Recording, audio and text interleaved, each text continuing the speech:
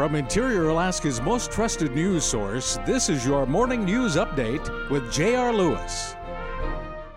Good morning and thanks for joining us on this Monday, September 14th, 2015. In the news, an 18 year old Delta Junction man charged with beating his stepfather with a fireplace poker is facing additional assault charges for hitting his cellmate with a food tray.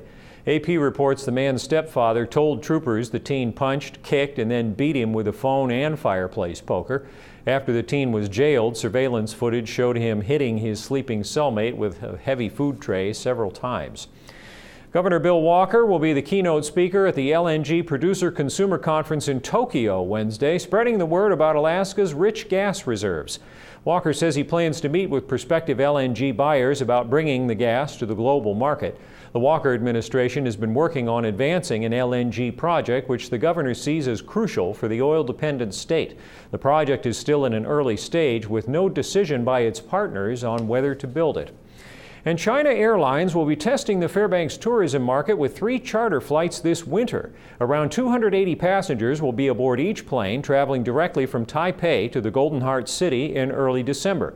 Travel marketing organization Explore Fairbanks is also currently pushing to position the interior as a primary aurora viewing destination in Asian markets. Tickets for the December charters were publicized by China Airlines and sold out quickly in Taipei. Explore Fairbanks Tourism Director Scott McCrae says airlines operating out of Fairbanks International Airport are well equipped to keep up with the demand moving forward. Quick look at the Fairbanks weather. Rain today, areas of fog, highs in the mid 40s. Tonight, rain in the evening, tapering off to mixed showers, areas of fog, and lows in the mid 30s. Then tomorrow, mostly cloudy with scattered showers and highs in the upper 40s.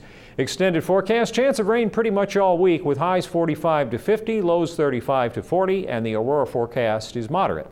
That's all we have for right now. Glad you could join us. And remember, for more news, sports, or weather, download our free mobile app for Android and Apple devices. From all of us here at News Center 11, I'm J.R. Lewis. Thanks for watching and enjoy the rest of your day.